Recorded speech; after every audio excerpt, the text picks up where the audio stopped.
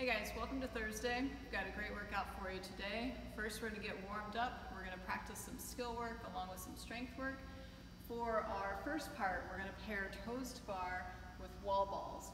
I'm gonna show a variation uh, for the toes to bar, a scale for knees to 90, and then I'll also show V-ups and knee-ins in case you don't have access to a pull-up bar. And then for the wall balls, in case you don't have access to a wall ball, I'll demo with a kettlebell. After we do that, uh, we'll have a quick little two minute transition and then we'll go 30 on, 30 off, three rounds of each. We're gonna go cardio or you can jump rope or do penguin claps if you don't have access to a rope. We're gonna go cardio and then box jumps or step ups or if you don't have access to a box, broad jumps. Back to our cardio and then we're gonna go weighted PVC clusters or right arm uh, dumbbell or kettlebell clusters. Back to our cardio and then lastly, we'll empty barbell clusters, and or if you're at home, left arm dumbbell or kettlebell clusters, okay? So first, let's go over to the rig and talk about our toes to bar. So for these guys, when you get set up, ideally, we're gonna jump into our hollow body position, but since the bar is a little higher for me, I'm gonna start with my standing on the box and get my hands situated. So my hands are gonna be just outside my shoulders, I'm going to wrap my thumbs around the bar to secure it. From there, I'm going to go into an arch position, hollow. I'll bring my hips up and tap the bar with both toes.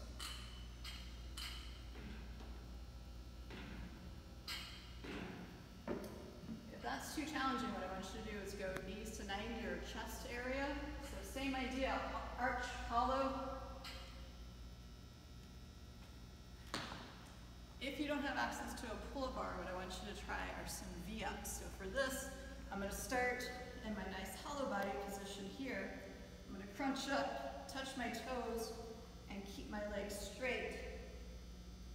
If that's too challenging, I want you to bend the knees and do some hollow body knee-ins. So I'm basically thinking about crunching right over the center of my mass. For our balls, you're gonna get set up about an arm's distance from the wall. Feet are gonna be in a wider stance for my squat. From here, I'm gonna pull the elbows underneath the bar, squat, hit my target. I'm thinking about throwing the ball at an angle so that it hits the wall, bounces right back to me, basically helps to push me down into that next uh, wall ball. If you're at home and you don't have access to a wall ball, you can use a dumbbell or kettlebell. For this, I would suggest holding the kettlebell like so, and then you can squat and press. Just make sure to get the chin out of the way so you don't hit yourself.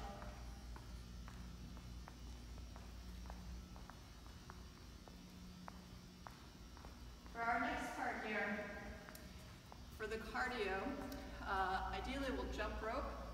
If you don't have access to a jump rope, we'll go penguin claps. For the penguin claps, uh, you want to make sure that you're bouncing on the balls of your feet, clapping your hips two times while in air. That's the important part.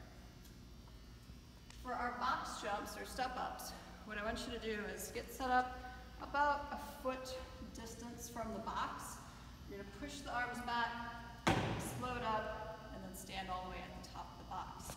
If you need to scale, you're just gonna step up, stand all the way at the top, and then switch legs. If you're at home you don't have access to a box, what you're gonna do is a broad jump. So for this, I just want you to think about jumping as far as possible, okay, on the ground. So I'm gonna get set up here, stick my landing, stand all the way up. I would do a reverse jog back to my start and go again. Next one is our weighted PVC cluster. So this is like a thruster, but worse because we also have to clean the bar. So hands are gonna be outside of the hips, knees pushed out. We're gonna push the butt back. I'm going to jump under into a squat and press. My next rep will come all the way back down to the ground. Lock out, make sure that those ears are covered by the biceps. Make sure that your hips are going below the knees. If you're at home, you're just gonna grab one of your weights, set it up in between the feet, and then you'll cluster with one arm. You'll come back down, tap one head, clean thruster.